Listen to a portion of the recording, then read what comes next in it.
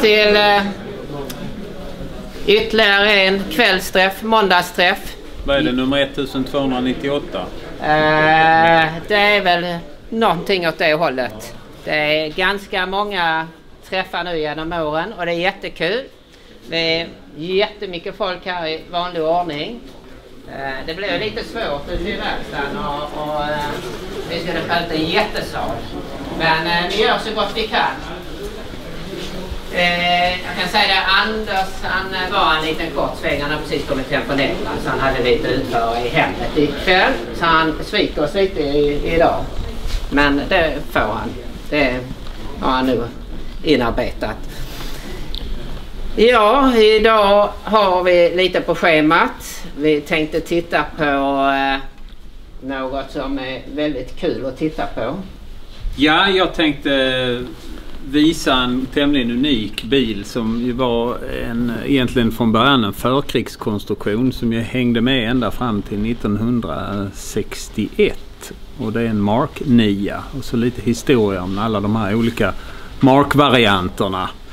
Eh, så det tänkte jag vi skulle titta på. Och sen för er som var förra gången så installerade jag ju LED-lampor i en bil och jag tänkte bara tända upp dem nu så att ni kan få den här aha-upplevelsen över hur fantastiskt bra det lyser nu för tiden. Om man har. Eh, så det tänkte jag göra också. Så det blir ett litet besök ute hos mig. Och du Björn? Jag tänkte visa en liten modernare motor vad man ska tänka på. Eh, man har en modern, en ny Jaguar så eh, är det ganska bekymmersfritt, eller det ska vara bekymmersfritt. Och jag tänkte berätta lite grann vad man ska kunna tänka sig för att göra för att inte råka ut för bekymmer. Så eh, det är kvällens program. Och Jens, du... Jag börjar väl ute hos mig längst ut. Sen går vi ett steg tillbaks till dig. Ja. Eller två steg. Två steg, Ja. Ja. Sen blir det kaffe och fika. ja. Ja, kör vi.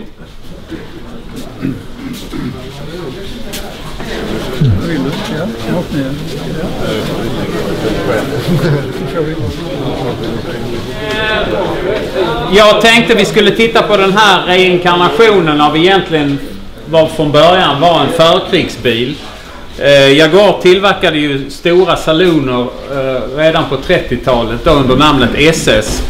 Eh, man stoppade produktionen ju under kriget och tillverkade andra saker. Men när man tog upp produktionen igen då tillverkade man en, en bil som hette Jaguar 3,5 liter. Vilket ju var motorstorleken. Då var det en eh, stötstångssexa.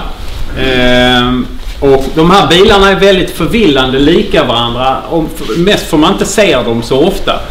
Eh, efter den här bilen med stötstångsmotor så gjorde man en eh, moderniserad variant som hette Mark 5. Och jag har haft en Mark 5 här inne för ett par år sedan. En vit som vi tittar lite som hastigast på då. Eh, som ju också är en lika stor och imposant bil. Den här bilen är fa- faktiskt ännu lite större. Den är 5 meter lång, den är 1,60 hög, den är lite mer än 1,90 bred, väger nästan 1900 kilo. Eh, men i grund och botten är det en väldigt, väldigt gammal konstruktion. Det är ju alltså separat ram och kaross. Allting är ihopskruvat. Massvis med läder och trä och träskruvar och plåtskruvar och skims och... Eh, så att... Eh, det, det är ju som sin helhet eh, en tämligen omodern bil. Den här tillverkades eh, alltså ända fram till 1961 när E-Typen lanserades som var det mest high-tech man kunde hitta då så hade man fortfarande i grund och botten en förkrigskonstruktion som man producerade. Eh, men de här var omåttligt populära. Eh, de såldes i väldigt stora mängder. Vi ser dem aldrig idag. Men eh, detta är ett exempel på en bil som är eh, vårdad ömt och renoverad av ägaren. Den kommer hit för lite småfix som det heter inför besiktning. Då Den nu har varit avställd eller under renovering under 7-8 års tid. Eh, men Mark 5 kom, den hade fortfarande samma 3,5 liters stötstångsmotor. Men ungefär samma mått, samma ram som denna bilen. Eh, sen kom ju enligt sann Jaguar-logik ingen Mark 6 utan det kom ju en Mark 7 Varför då? Jo, därför att det fanns under den tidsperioden en Bentley som hette Mark 6. Och då vill man ju inte på något sätt eh, tassa in där och, och, och, få problem. Så man döpte den till Mark 7. Mark 7 var den första eh, stora salonen som fick den nya XK-motorn. Den lanserades 1948 i XK120. Så den la man i den här. Eh, sen följde åttan och detta är nian. Det här är den första serieproducerade Jaguaren som faktiskt hade skivbromsar runt om på alla fyra hjulen. Eh, det var ju lite high tech. Den hade i sitt ursprung 3,8 liters eh, raka sexan. Eh, och eh, Ja, en väldigt modern bil, alltså så tekniskt sett. Men, men när man tittar på chassi så är det ju fortfarande så att den har eh, hjulupphängning hjulgeometrin. Och hela hjulupphängningen är detsamma som i Mark 5. Identiskt. Där är torsionsstavar fram, Där är bladfjädrar bak. Eh, men man ska inte kritisera väghållningen för att det var ju så här att med Mark 7 eh, den som hade då 3,4 liters raka XK-motorn. Den vann man ju Monte Carlo-rallyt med. Helt, jag fattar inte om man kan ratta runt en sån här bil och vinna Monte Carlo-rallyt. Men det gjorde man alltså. Man tävlade i de här bilarna. Väghållningen på den tiden ansågs vara suverän. De var väldigt snabba och alerta bilar att köra runt i. Själv är jag nervös varje gång jag ska köra det minsta i den här bilen för den är inte lättkörd. Man sitter obekvämt och har en gigantisk ratt tryckt mot bröstet och så ska man försöka manövrera. Och framförallt att bara köra upp den på rampen här för du ser ju inte alls var den slutar eller börjar. Det är, ja. Eh, till och med vinterväglag i Alperna när de vann Carlo. Precis, ja. Ja, det är fantastiskt. Eh, men just det här exemplaret eh, har ägaren då haft, ägt under många år och eh, renoverat den. Ställde av den och renoverade den under många år. Eh, så att just det här exemplaret har inte 3,8 utan en 3,4 liters helrenoverad motor. Det är ju samma mått och samma dimensioner. Eh, så, så motorn eh, tror jag var så kass så att det fanns ett annat alternativ att stoppa i den. Annars är den ju eh, just i detta fallet vänsterstyrd med eh, automat. Och den här kombinationen eh, var den enda då som hade hel soffa fram och bak. Och jag tror inte det är mellan 3 till 400 exemplar som gjordes av vänsterstyrd automat. De flesta var faktiskt manuella på den tiden. Två växlar? Ja. Två? Ja. ja. Eh, så att det här är en fantastiskt fin bil alltså. Väldigt, väldigt rolig. Eh, ja, ungefär. Fast ja. Ehm, så det här är eh, ett fint stycke rullande Jaguar-historia som sagt. Och den, ehm, den ska vi göra lite småsaker med och sen är det tänkt att den ska besiktigas och kunna rulla ut i trafik igen nu efter tio års renovering som han väl har hållit på med. Det. Ehm, det är ju mödosamma arbete med de här bilarna för det är inte mycket delar som går att få tag på överhuvudtaget. Eh, utan man får söka sig till specialister som kanske har någonting eller så får man skicka det till renovering i England. Jag tänker framförallt då på bromsdetaljer. Eh, fast den här bilen tillverkades i nästan 10 000 exemplar så är underlaget för litet för att göra delar till dem. Så att det, det finns ingen ekonomi i det. Så att han, han, har ju önskat att få en ny huvudbromscylinder men det går inte. Det finns, inga ny, finns ingen nyproduktion. Så då brukar jag skicka dem till, till England för resleeving. Alltså man borrar ur och så trycker du i en ny rostfri eh, cylinder honar upp och, och, så blir de som nya igen. Så det är enda chansen med de här. Ehm, eller att då skickas hela cylindern för renovering till England i ett utbytessystem. Men, eh, så det är problem, det är jätteproblem. Om man tittar på Barrett som har ju väldigt mycket Jaguar-delar skulle jag säga att vad som finns till de här är de delarna som, som, som de delar med andra Jaguar-modeller. Det är för sig en del men just de specifika sakerna finns inte. Det är väldigt, väldigt udda bilar det här. Ehm, delar till taklucka, vad, vad, som helst. Det finns liksom inte. Utan, men det finns en firma i England. Är man intresserad av de här bilarna och funderar på att skaffa sig en så finns det en som heter Worcester Classics. Som har en ganska primitiv hemsida och pdf-kataloger man kan bläddra i. Men de, det är den firman som är bäst på de här riktigt gamla bilarna. Och där kan man ringa och fråga dem eller skicka mail och de har faktiskt fortfarande en del begagnat till de här bilarna. Så att det finns liksom entusiaster som fortfarande vill hålla dem vid liv. Eh, och jag vet att David Marks som skriver i Jaguar Enthusiast eh, han som var här också och besökte oss. Han har en Mark 5 tror jag det är som han kör runt med som lite halv halvbruksbil. Och det är ganska häftigt att komma till jobbet i en sån här. Ehm, ja, det var den här avdelningen om den här fantastiska bilen. Ehm, eh, Eh, jag tänkte bara jag skulle demonstrera nu hur egentligen det här ljuset blev eh, som jag stoppade i när den gröna bilen stod här. Jag tror den stod här. Ehm, jag hade ju inte kommit så långt annat. Jag hade inte ställt ljusbilder eller någonting. Jag hade ju bara gjort en A och B-jämförelse med en vanlig lampa och halogenen. Och nu försökte jag ladda ner en, en luxmätare till telefonen men den var alldeles för ovetenskaplig för att jag skulle våga presentera några resultat. Annars tänkte jag skulle jämföra med en H4, en gammal Silbeam och de här. Men jag fick inga resultat. Men jag tänkte jag kunde tända lamporna i alla fall så man ser att det är ganska så, ganska så bra kraft i, i lyset här. Eh, I alla fall jag känner mig rätt nöjd med den här operationen. Så där är ju vanliga halvljuset. Och det är ju betydligt bättre stomp i det än, än i det gamla. Och, eh,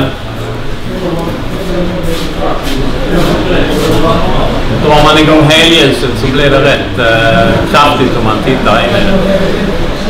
Så det här är ju någonting man kan faktiskt göra även om det nu är olagligt. Alltså för att förbättra trafiksäkerheten. Och de var inte så svåra att ställa ljusbilden på de här utan de hade en ganska lik ljusbild med vanliga H4-lampor.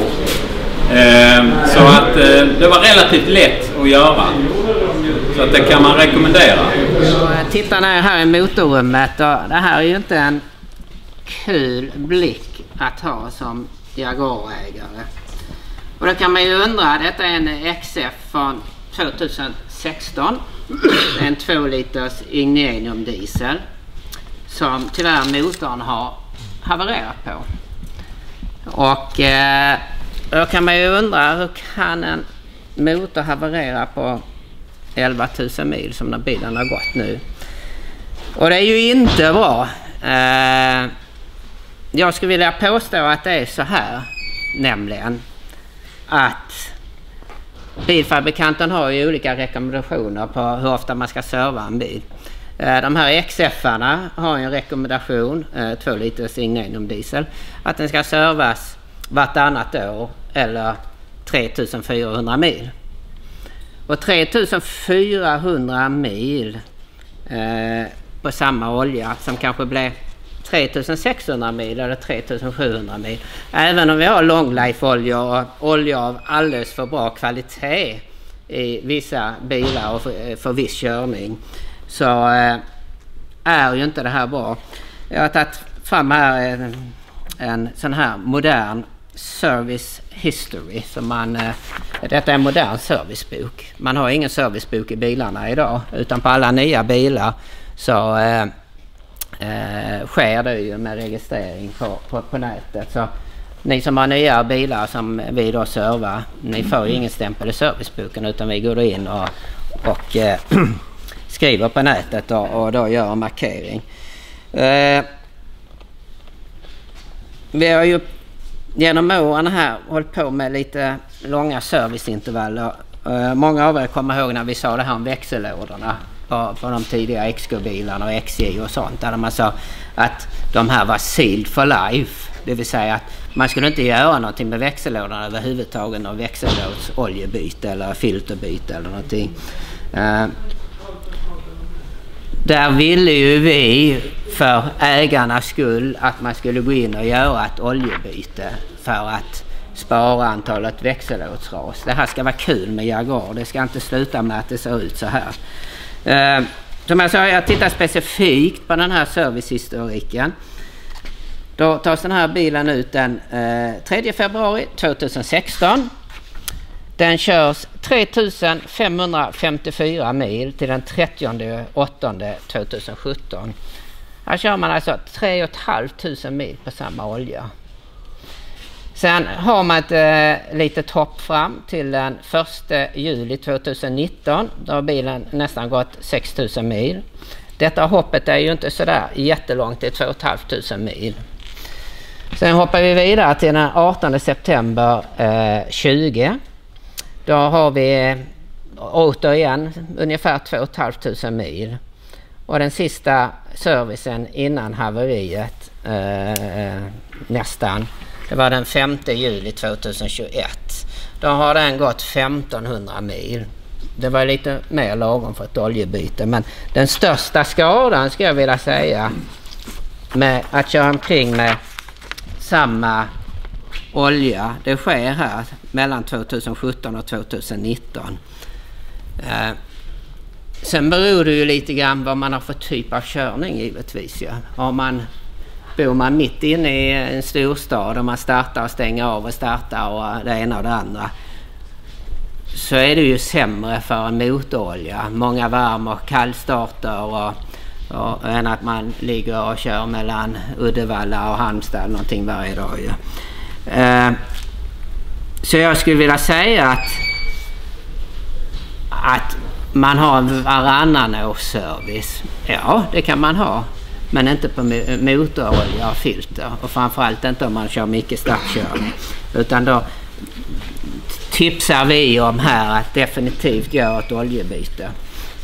Eh, den här bilen kom ju då eh, in på verkstad uppåt landet för att uh, han hade ett annat fel på den och då tyckte de att eh, han skulle serva den samtidigt och då upptäckte de att det var ett litet oljud i motorn. Och det var ett litet oljud i motorn. Eh, när man gasade upp den här bilen så hörde man ett kraftigt eh, vevlagerbank. Och då provade de, med, de tittade på oljan och tyckte oljan såg ut som sirap och där provade man då att byta olja och filter för att se om det hjälpte. Eh, och det gjorde det inte ju. Det tråkiga med de här nya motorerna, skulle det här varit en gammal Lexco-motor, då skulle man plockat ut motorn och så skulle man plockat isär den så skulle man lämnat in eh, vevaxeln på slipning och överdimensionslager. Tyvärr kan man inte göra detta på nya motorer. Det finns inga vevaxlar eller finns inga överdimensionslager att köpa. Man kan bara köpa mer eller mindre hela motorn i shortblock, alltså eh, en motor utan topplock eller komplett motor med Eh, som helhet. Och det är ju ingen kul kostnad. Vad säger försäkringsbolaget? I och med att eh, ja, eh, försä försä försäkringsbolaget, nu är det ju så här att man har ju vissa eh, det är ju jätteviktigt det du är inne på här. Ja, för att du överskrider du det så gäller inte försäkringen Nej. Det är ju så att tittar man, olika bolag har olika längd och de har olika Eh, regler och ålder och miltal eh, hur man är försäkrad. Eh, sen det viktigaste utav allting det är om man har en modern bil. Om man är intresserad av att köpa en. För motorskadan, alltså eventuellt om man får en motorskada, det är ju att servicarna har blivit utförda. Så köper du en bil som har gått 6000 mil och den är eh, två år gammal och den skulle varit servad på 3 500 och inte blivit servad och jag har en servicestämpel på eh, när du köper den på 6 och 2 eller någonting.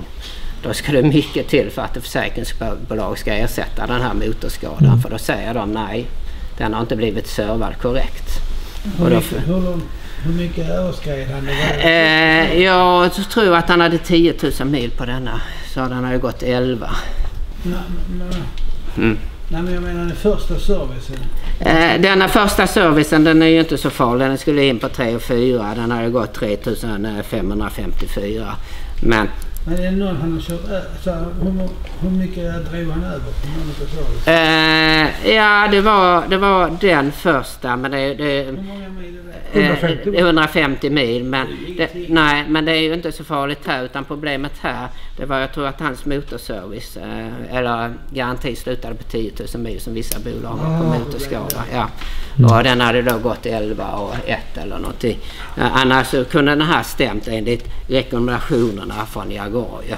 Eh, men likadant som vi säger om växellådor så kan det vara god sak att gå in och göra ett olja och filterbyte eh, på de här. För att det är för långt. Och en diesel... Försäkringsbolaget eller han fick själv betala? Eh, nu var det ju så att han fick ju ett hutlöst stackaren prisförslag från Jaguar för att byta motorn och det kostar ju 200 000. Ja. Om du köper en motor från England, vad kostar den då? då? Ja, nu lyckas vi eh, hitta en begagnad sån här Ignanium-motor. Eh, jag kommer inte ihåg, de är inte billiga de heller. Men vi kommer ju ner till halva priset på eh, totalt sett med, med motor och eh, kostnad med allt vad det innebär att byta och så. Och det gör ju att bilen kan överleva. Det är det ju. Och den motorn hade ju betydligt lägre miltal än, än eh, vad som satt i denna. Så förutsättningarna är oerhört goda att, eh, att eh, förlänga livslängden. Och jag vet inte vad gör man med en sån här bil då? Sk- Skrotar man den eller vad gör man med den? Gör repatraktor av det. Ja, men man måste, måste ha någonting här i ändå oavsett vad man gör med den. ju.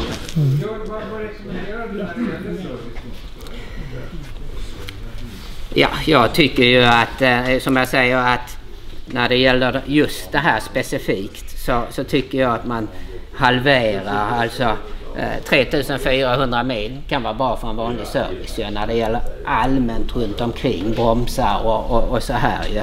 Eh, men oljebyte, oljebyte ska ligga på 1500 mil max, det säger jag. Är en diesel kä- känsligare än en bensin? Di- Diesel är ju smutsigare i, en bil eller i, i, som motor ju för oljan. Eh, sen vad den påverkar i exakthet smörjförmåga det kan man ju diskutera i oändlighet med de som är eh, specialister inom det.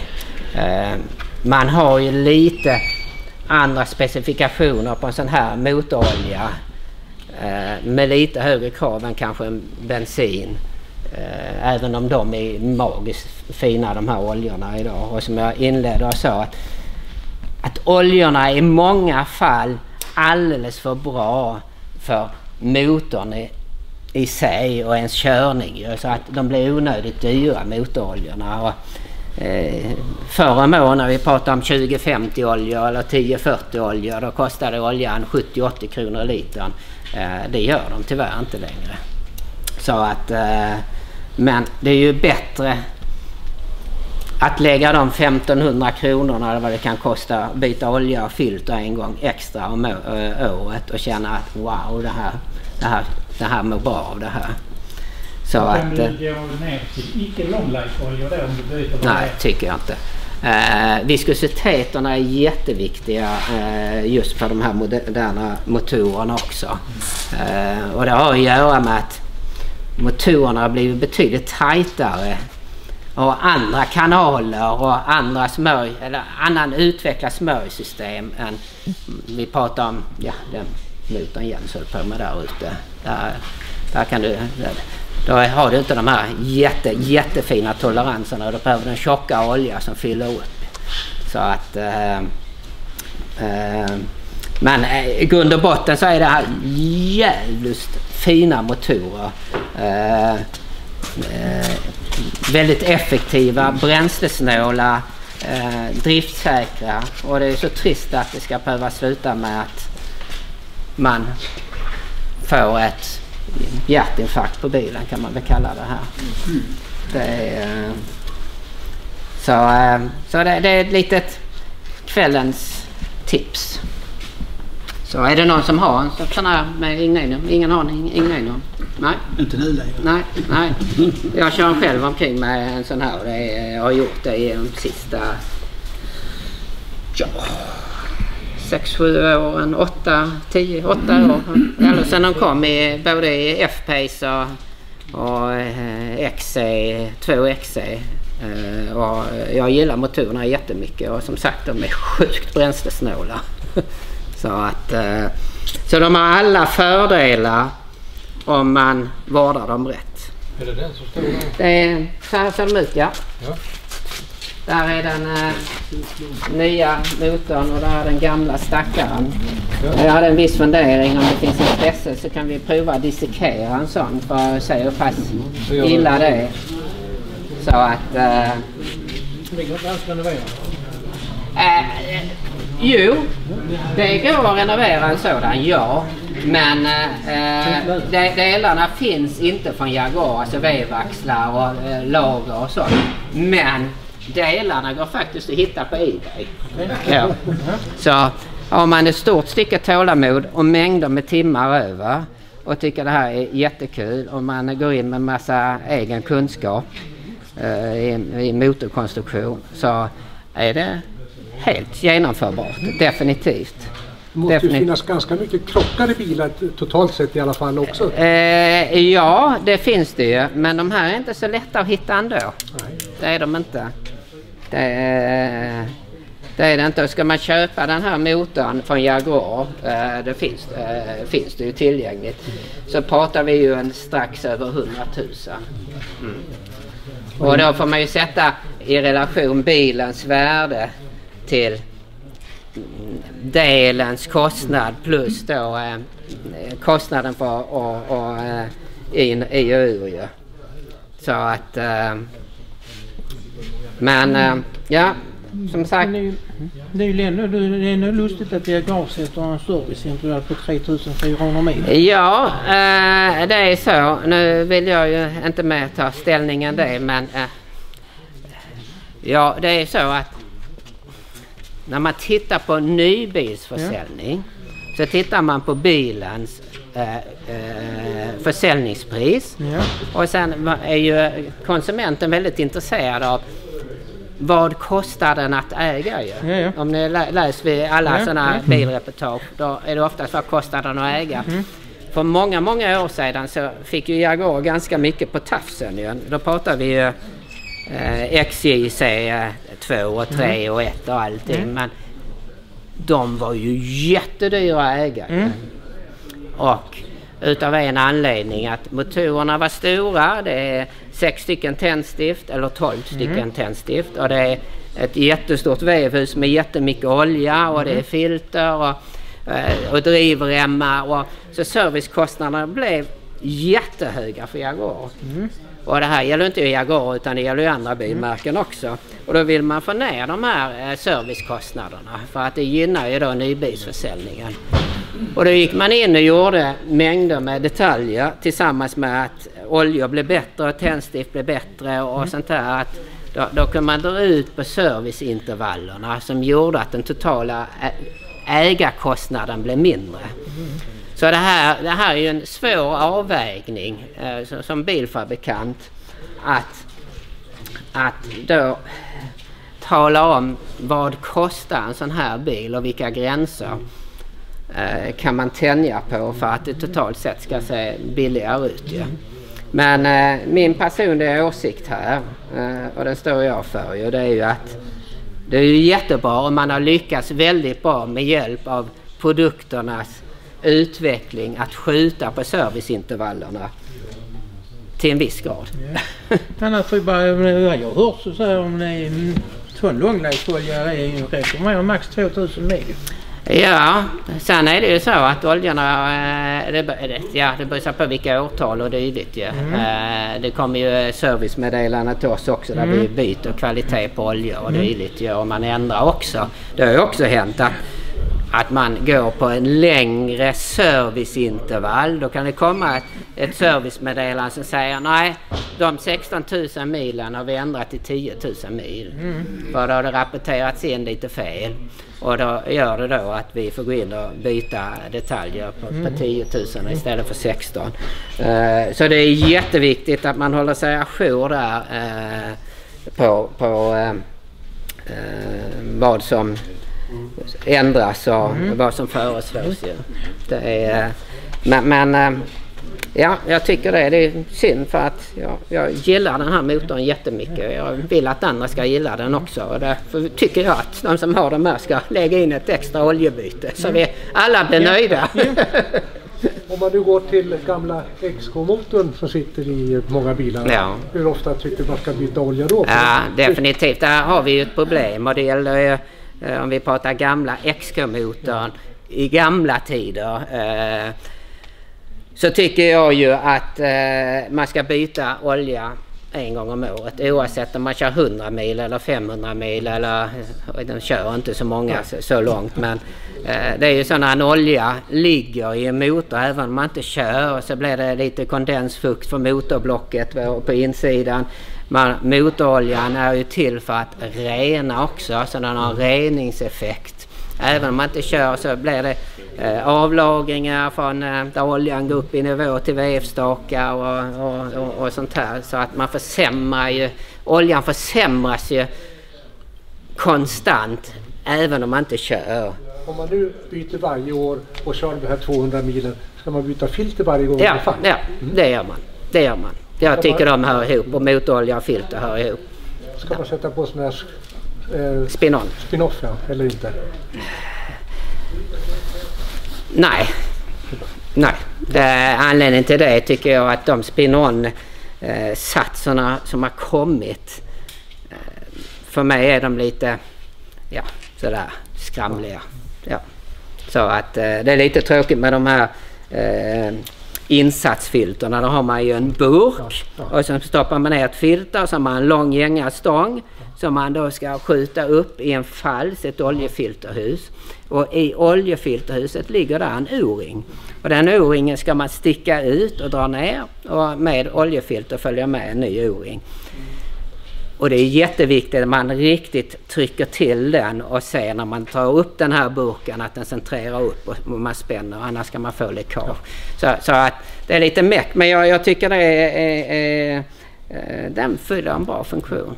Det, det, gör den. Så att, och sen är det lättare att ha ett spin-on-filter som då blir spin-off-filter när man tar av det. Det är snabbt och enkelt och en bra tätning men ja. Och oljan i de gamla motorerna ska inte vara en modern olja? Ingenting annat än 2050 vanlig. Absolut inte syntetolja i en gammal motor. Då, eh, syntetoljan är ju en jättebra olja, ju en modern olja. Den gamla motorkonstruktionen eh, eh med kanaler, alltså oljekanaler, är inte anpassad för en sån modern olja. Det som kan hända det är om man kör med en eh, syntetolja då. Man kan tappa lite oljetryck och man kan få läckage. Den är, den, den är, det är finare, så det är mycket lättare för den att gå ut genom packboxar och packningar. Och det är ju också så att den gamla XK-motorn, den har ju inte de packningar som en modern motor har. Idag är, är det ju mycket som är limmat ihop och man har nerfrästa packningar i, i, som stora o-ringar som tätar upp och Eh, plattas ut eh, genom packningsytorna som, som gör dem mer effektiva. Eh, men som sagt, inga gamla motorer ska någonsin ha en syntetolja. Aldrig i livet. Så utan det är bara 2050 av god kvalitet. Så att... Eh, och när det gäller moderna motorer så är det ju så. Jag brukar säga som så att förr om åren, ja då hade man alla oljor i huvudet ju. Ja. Idag går det inte. Det är så specifikt Var en 2 liters eller en 3 liters eller en 2,5 eller vad det nu kan vara. Eller en 4,2 4,2 supercharge. Så, uh, ja, uh, och det är som jag säger att det är så oerhört viktigt så varje gång när någon kommer och frågar om olja så är det ju specifikt just för den och då slår jag allt upp det för att det inte ska ske några missförstånd. Och vi har ju haft eh, bilar som har kommit in här med jätteoljeläckage. Då har ju någon bitat och hällt i någon 020 eh, olja i, i, i någonting som inte ska ha det och då, då läcker det ut på alla håll och kanter. Så att, eh, men det blir en billig reparation än att byta packningar, att byta till rätt olja. Så att eh, så, så det har blivit en vetenskap och eh, djungel där.